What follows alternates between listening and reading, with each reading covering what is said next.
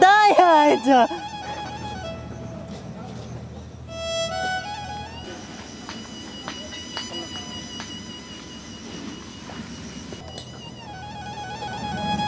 भाइ विदेशमा गएर धेरै पैसा कमाइ हुन्छ। यहाँ बा आमाको इच्छा आकाङ्क्षा पुरा गरौँ।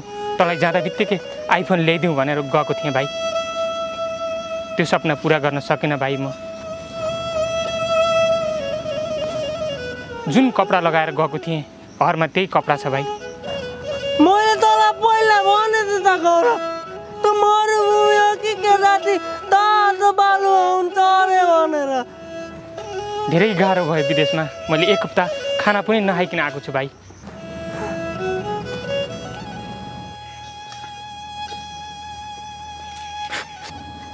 भाउजै